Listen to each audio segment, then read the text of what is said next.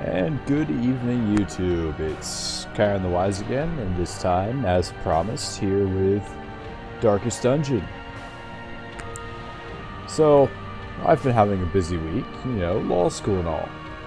And assignments all over the place, writing legal memos, writing outlines, preparing for the exams that, you know, are more than a month away, but at the same time are so terrifying that you have to start preparing more than a month out.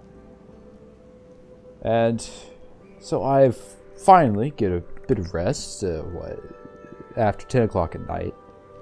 I'm like, yeah, let's play a game. And, you know, hmm, well, I'm super, I've been super stressed out. What kind of game should I play? How about a game in which other people also get super stressed out and then go mad? Awesome! And that brings us to Darkest Dungeon, which is a game in which you try to hire heroes to purge your estate that you've recently inherited of all the abominations that are throughout it. And these heroes, as I've said, they accumulate stress and they go mad. So completely appropriate. Anyway, it this is one of those games where it's better to just show rather than tell. Alright, so as you can see, I've played this game a couple times before. I've gotten a little ways into it. I'd say about mid-game. But let's start a new game. I don't want to play on easy because I'm not a filthy casual. I can't play on Stygian because I have not gotten good. So we gotta play on Darkest. And you know what? I'm going to call it uh, Darkest Torts because if I'm frank with you, Torts is my darkest dungeon. Now, if you're in law school, you could probably appreciate that joke. If not, I'm sorry, but it. Be actually, I'm not sorry. You're not in Torts. I'm quite jealous. Anyway, let's uh let's dive into this misery of foreseeable madness.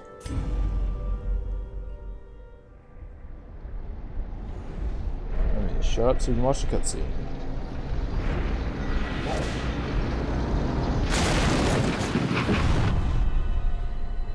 You will arrive along the old road. It winds with a troubling serpent-like suggestion through the corrupted countryside.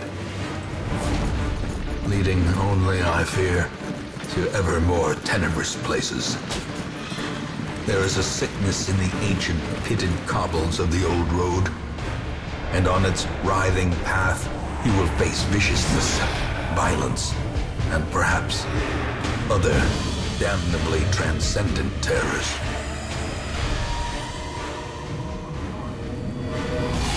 So steel yourself, and remember there can be no bravery without madness.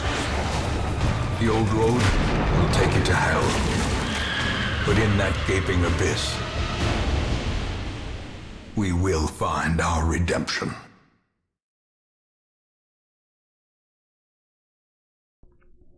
All right, and we're back. So you may have noticed a few things during that cutscene. One, the art style for this game is goddamn beautiful. Really, I, I do truly love it. Two, the narrator for this game is also goddamn beautiful. Uh, I can't recall the name off the top of my head, but I love the man. He's great. That voice is just mmm. Hearing him say things like tenebrous and damnably transcendent. Oh, so good. So good. Anyway. Every time you start up a game in Darkest Dungeon, you always start with these two guys, Reynold and Dismas. Oh, can I right click them? Yep. They also start with these same quirks, but we'll get into that later once we get into the hamlet. Now, I will say though, I I do dislike Re Reynold. Reynold. I whatever. I'll say his name however the fuck I want. Mm. I hate him because of that trait. Anyway. Now, over here on these character panels, we'll see their skills. Now these skills, I don't think they get the same ones each time. No, no, I'm wrong. No, the, the defaults do. The ones you randomly get do not. Ignore me. They do always start with the same skills, don't they? Yes, they do. I am a very silly person. Anyway, so we start here, and I guess we're still huddling in this carriage waiting for our loyal bodyguards to clear the way. So let's go ahead and click on this room and travel towards it. have run up these lanes. Keep to the side path. The hamlet is just ahead. Alright, so we're gonna keep the light on for now. I, I'm a crazy person and I like to play a very high risk that game. all may hear of your arrival. So you'll see me with the lights off a lot of the time. Anyway, we're in a fight. We're fighting a brigand cutthroat. Now, now I can actually explain what the fuck I meant by lights on, off. What is he going to do? Something dirty? No, no, no, no, no. Alright, as you can see up here, its light is at 88 right now. It's out of 100, which is the max. And you see I have plus plus dodge, plus plus scouting, and quadruple plus monster surprised. Alright, this means it's more likely that I'm going to dodge attacks. Apparently because it's bright and I like seeing in the light while everything else is night vision. Uh, plus plus scouting, which means sometimes I'll be able to reveal icons on these paths before I come across them. And monster surprise, which is obvious that surprise, I get to go first. It sometimes even shuffles their order, which we'll get into later. However, there is one reason why I think it's if you shift click. Yeah. You see, if I shift click and manually lower the lighting, which also happens over time, uh, I get more stress, and the dodge, scouting, and monster surprise has been weakened. Let's do it again. Oh, the light is fading. Ah, gee willikers, Batman. I did not know that. So now, it's more stress. The monsters have accuracy and damage, and heroes have a chance of being surprised. However, there's that plus loot. If we do it one more time. There we go. Triple stress. Monsters accuracy damage, hero surprise. There's still more loot, and there's still a chance of monster surprise, which is what I want. So let's get to the fighting, shall we? Uh, this episode, it's mainly just going to be the tutorial. I'll stop explaining these as I go. Anyway, fighting. What moves you can use. Ah, sorry. What moves you can use determined by what position is that character in. Positioning is like key in this fucking game. Alright, so we got Dismas here. He's super fast, which is why he's getting to go first. Now, he's in position 2. Uh, there's there is a total of 4. Because I only have two people, and he's in the back, he's in position 2. Alright, so, what moves can I use? Well, anything that has that sec... Starting from the right, that second slot filled in, he can use that move. So, pistol shot. Eh, that... There's another rule why I can't use that. The ones I can use are Open Vein and Grape Shot Blast. Because there's another thing. These moves also can only be used on someone who is I can word. Oh, my light. I'm pretty sure my light's been going down this whole time. Uh, oh, never mind. I'm wrong. Ignore me. Uh, I can only use the move on someone who's within a certain slot. So, like pistol shot here. You might be wondering, well, slot two is filled in. Yeah, the thing is, slot one on the other side is not filled in, which means I can't use it on anyone. I can only use it on anyone who isn't in slot one, which there's only one guy over there left, so there's only a slot one. Can't use pistol shot. But we can open vein. I even gave him a debuff effect, which is basically a poison effect. Alright, and same rules apply. Also, if you see uh you see how those two red circles are linked down there? That means it's an AoE attack. It affects both those slots at once, but We're just gonna give him a smack. Oh, shit. Unfortunate.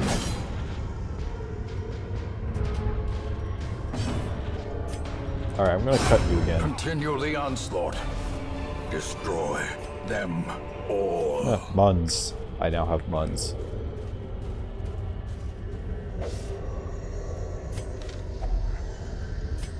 Yeah, Curio, you can Finding interact with it. You can use an item to interact with it, which a Now lot of ones need to use an item to safely interact with something. Leave nothing unchecked. Alright, we're gonna go There is uh, much to be found in forgotten places. real quick. Get that bonus lighting. Higher chance for surprise here. Send these vermin a message. I got surprised. This is no bueno. returned, and their kind is no longer welcome. That means I can't pistol shot, which means I can't target the asshole in the back, which is problematic. I want him dead. Because see, the thing is, this guy is so fat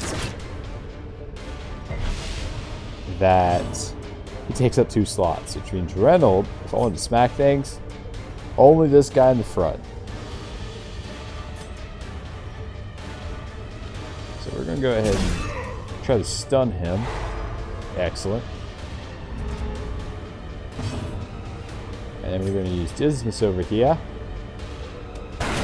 Masterfully Oh, that crit. executed. Hmm. Uh, later on, once I've started accumulating stress, that hasn't happened here yet. Uh, crits are awesome. They reduce stress.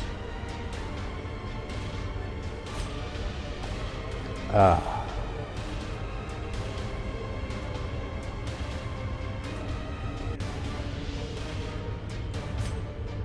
Yeah, let me, yeah, go ahead and use the uh, aggro.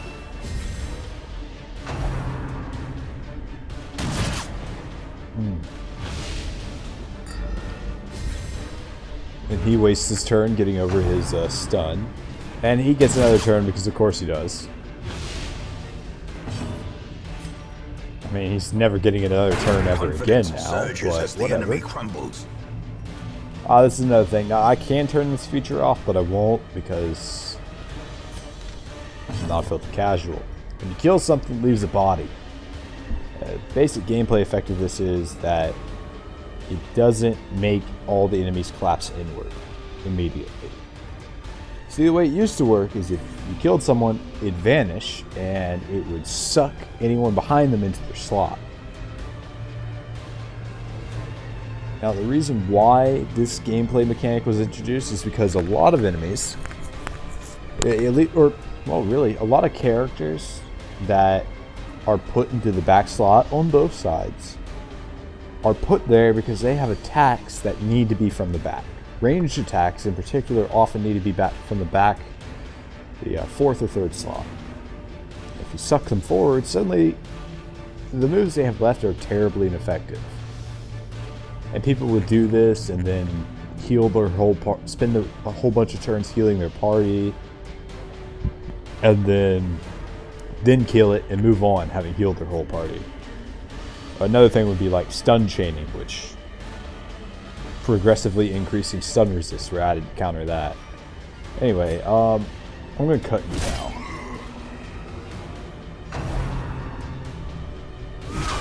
Unnerved, unbalanced. Ew. Yeah, we don't like it when the enemy gets crits. Anyway, we're gonna go ahead and nuke The the torch. holds much worse than mere trickery and boogeymen. Alright, we're just gonna stab you. I want bleed.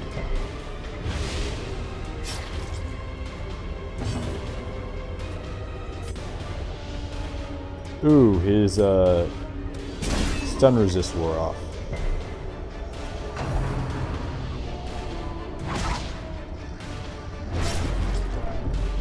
This stress is nasty because it actually it doesn't go away when you clear the dungeon. It only goes away when you send someone to a stress reducing facility in town, which we won't have for a little bit. So I really don't want to build all this damn stress in here.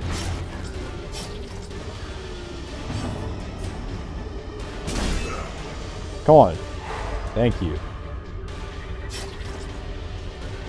Alright, now we're just gonna cut him to death. Yeah, I, I turned the tor torch off. I really should have waited to turn the torch off until right before I killed him, but sometimes I forget. So I decided to do it. Fuck it.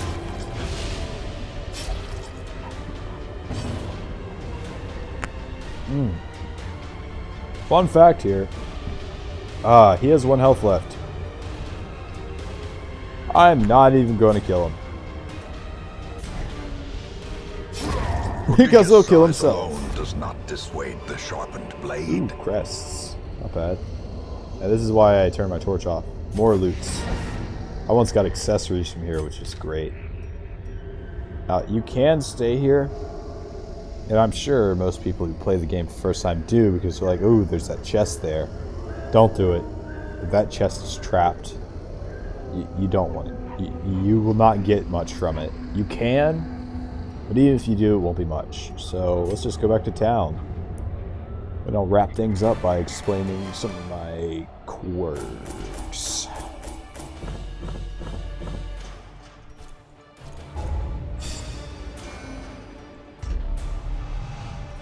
Oh, eh, not bad, not bad actually. This makes you great for the ruins. Okay, so this is the thing that can happen. When you clear a dungeon, you gain XP, and you might level up. If you've reached the next XP marker. And when you do, you might gain quirks. Now, let's just go ahead and return to town so I can talk about that. Welcome home such as it is. So here we are, home base. This squalid hamlet, these corrupted yes, lands. Yes, thank you, game. They are yours now, and you are bound to them. Ah, so because we can't access really anything in town right now. Oh wait, no, we can. We can recruit Women some and peeps. men, soldiers and outlaws, All fools. right, uh, let's just go ahead and recruit these guys. All They're always way to are us these now guys, that the road is clear. Vestal and a plague doctor. Just click and drag them. What better laboratory than the blood-soaked Every time you come back from mission, this place will have more heroes in it. I, I use heroes very loosely here. More mercenaries, let's describe it like that. And we'll go ahead and go up here, click it so we can upgrade. Yep, we have enough to increase the number of available heroes. Great heroes can be found even here. Next time, the there'll be three heroes here. I could increase barrack size, but we're not going to do that yet. Anyway, let's uh, open our heroes up. Oh, not bad. Yes, yes, thank you. This is this is actually fascinating. Oh, great. Your shit. So, you may be wondering, Kyron, you said you were going to go over quirks. Fucking do it. Very well. Alright, so.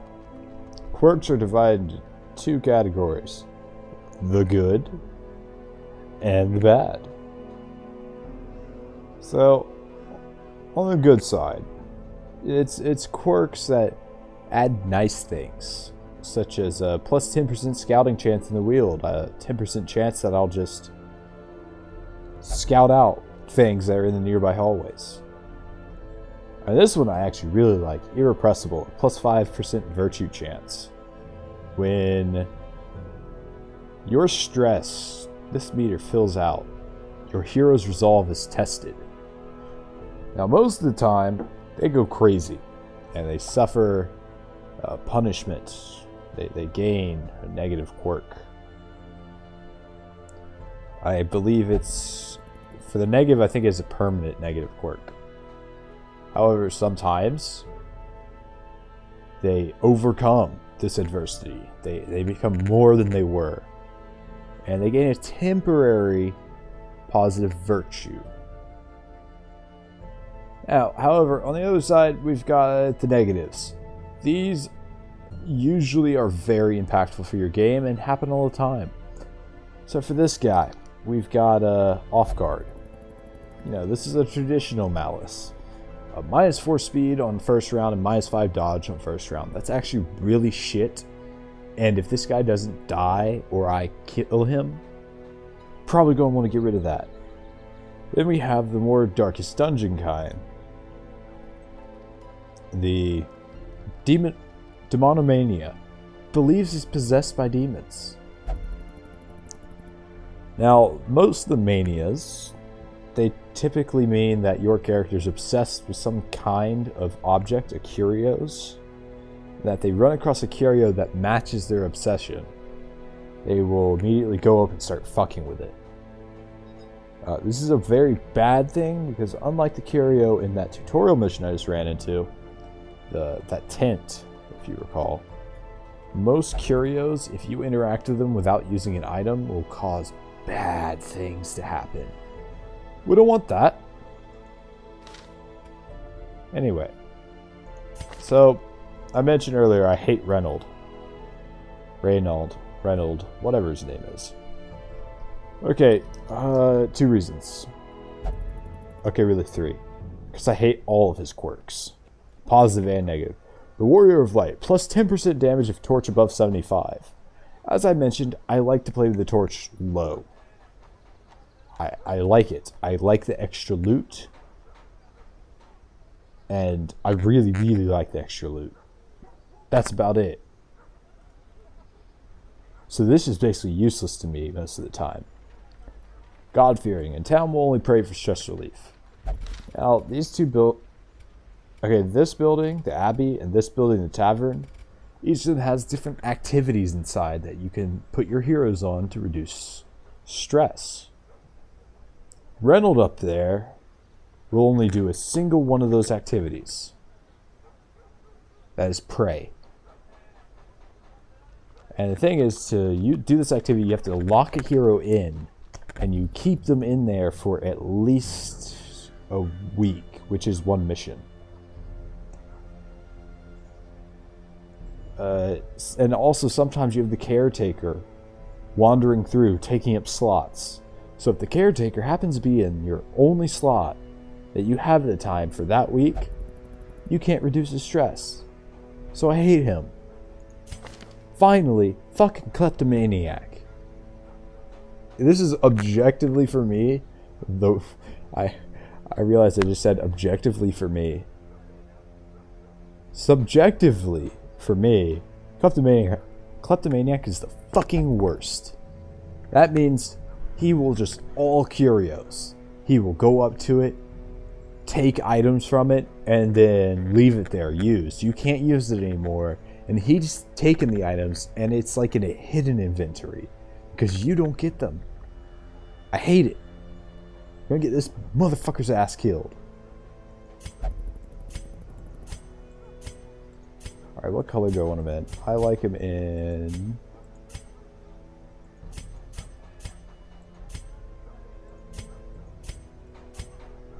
Four, yeah. Um, yeah, I'm just I'm just flipping through colors at this point because uh, I think that is actually just about all that I can talk about right now because I can't access anything else. And unfortunately, I, I would do another mission right now in this episode, but it, I don't have the time. So we'll just do that in the next episode. And I guess we'll wrap it up here. As always, you, you know the like, comment, subscribe, that whole spiel. And keep in mind, if you comment, that means I have names down there to start pulling from if I decide to rename a character. Now, I mean, depending on the comment, of course, you might either get your name on a character I really like, or you might get your name on Reynold. Enough said. Anyway, I hope you guys have a less stressful time than I've had recently. I wish you all the best. Kyron out.